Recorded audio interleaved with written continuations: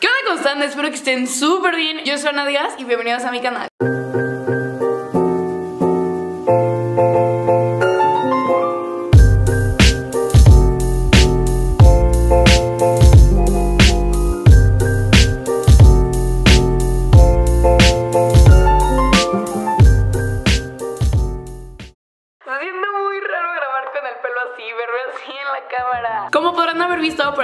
Está Parque Abejito y obviamente como podrán haber notado, el día de hoy les traigo una especie de story time y les voy a contar cómo fue que sucedió esto. Si les quiero confesar algo y es que no estaba así de corto, ayer fui a emparejármelo y me dejaron así. No soy fan de cómo se ve, me gustaba más cómo se veía antes, justo después de donarlo, porque no me lo habían dejado tan corto. Pero no ya más adelante en el video van a entender. Sin más que decir, vamos a comenzar. Primero que nada tienen que saber que ya tenía tiempo que yo quería donar mi pelo. Y como yo ya quería donarlo hace tiempo, yo ya tenía la idea en la cabeza de que iba a tener el pelo corto en algún momento y de que lo iba a donar. El jueves pasado en mi escuela fue el Diatec. Es como un mini festival de música donde vienen diferentes artistas, diferentes personas como conocidas, famosillas. Una de ellas fue José Zavala, que no sé si ustedes ubican la serie Club de Cuervos, pero él interpreta a Hugo Sánchez. Fue a dar una plática de artistas, fue Jorge Blanco, fue Kurt y bueno, van varias personas. También vienen diferentes food trucks, regalan comida, regalan helados, ponen inflables con agua. Bueno, es como todo un festival. Y dentro de estas diferentes actividades o puestitos zonas que había, una de ellas era como una campaña contra el cáncer, donde tú podías ir a donar tu pelo. Habían diferentes personas, creo que todas eran mujeres, que estaban ahí como organizando todo eso. Estaban cortando el pelo, después de cortártelo, si querías te lo podían emparejar ahí. Algunos niños, dependiendo de qué tan largo estaba su cabello, igual se lo podían rapar y lo podían donar. O simplemente se lo podían rapar para apoyar la causa. La cosa es que antes de todo lo de este día, un día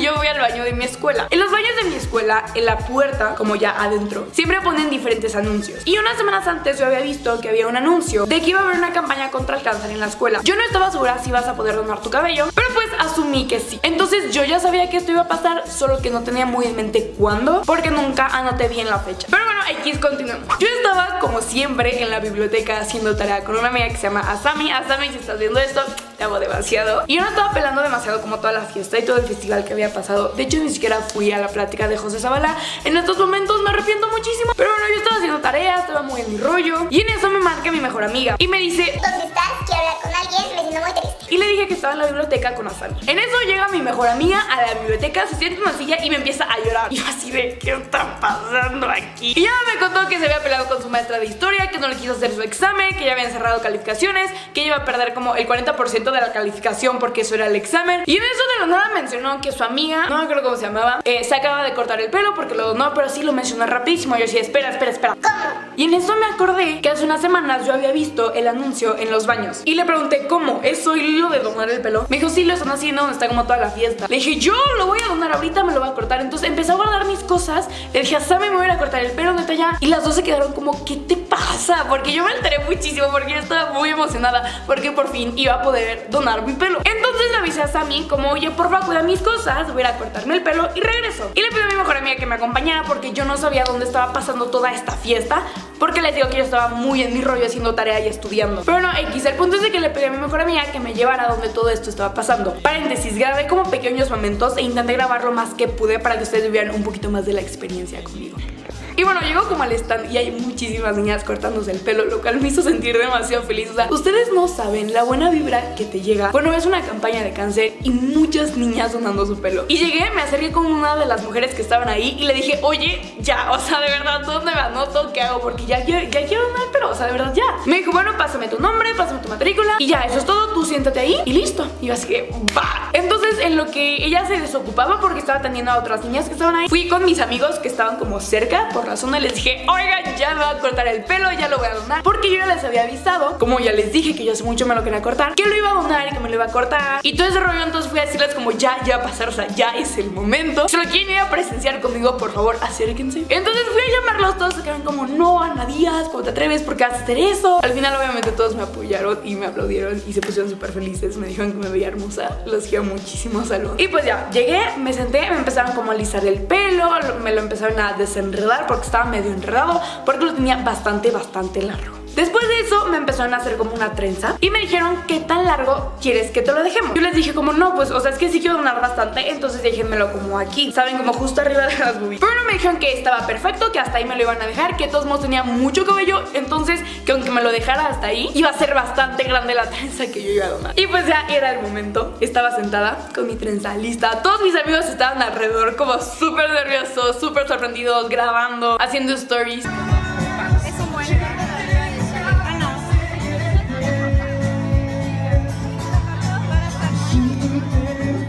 La señora empieza a cortar el pelo.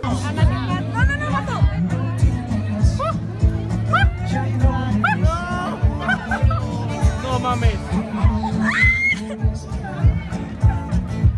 Dios mío, ustedes no saben el miedo que se siente porque escuchas cómo va pasando la tijera. Y yo la verdad no me estaba arrepintiendo. O sea, porque antes de cortármelo me dijo la señora, o sea, me preguntó si te lo corto y así de sí. O sea, de verdad, dale. Yo estaba muy feliz, pero estaba muy nerviosa. O sea, el sentimiento es muy raro. Pero era lo que yo quería hacer hace demasiado. Entonces sentí como que me llenaba. O sea, no sé, es un sentimiento demasiado raro. El punto es de que lo cortó, me paré y fue de ya. O sea, ya, lo hice, ya, lo logré.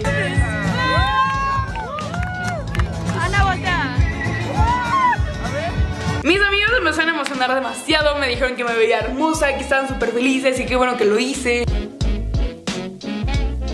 Yo estaba encantada la vida, de verdad, yo estaba encantada de la vida. Me tomé muchísimas fotos con mi trenza, con mi pelo corto. Yo me emocioné, o sea, yo quería convencer a todas mis amigas que pasaban que lo donaran, que se lo cortaran. Quiero decirles que mi grupito de amigas del primer semestre, creo que todas, no me acuerdo muy bien, pero creo que todas también lo donaron, también se lo cortaron. Les voy a estar dejando una fotito por aquí. Y de verdad se siente hermoso hacer ese tipo de cosas con personas que realmente amas y que realmente tienes en tu corazón. Pero bueno, pues me lo corté, lo doné, me tomé fotos con mi trenza. Luego me pidieron que escribiera como una notita, como una cartita para la niña o para la persona que fuera a usar una peluca hecha con mi pelo. Eso está bastante raro. Decidí dejarla en anónimo por cualquier cosa. Y guardaron mi trencita en una bolsa Ziploc junto a la notita. Después me preguntaron que si quería que me lo emparejaran y yo les contesté que no, que yo iba a ir después al salón, a la peluquería, porque me lo quería cortar en capas. Malísima idea, porque ahora sí me siento calva. Es que yo les juro, les prometo que después de que lo donara, yo me sentía hermosa. O sea, de verdad, a mí me encantó mi pelo, porque nunca lo había tenido así de corto y me fascinaba cómo se veía. O sea, yo me sentía intocable, de verdad, imparable. Les voy a estar dejando otra foto que me tomé un día después, el viernes en la mañana, antes de la tragedia de irme a cortar más. A mí me encantaba cómo se veía. Pero bueno,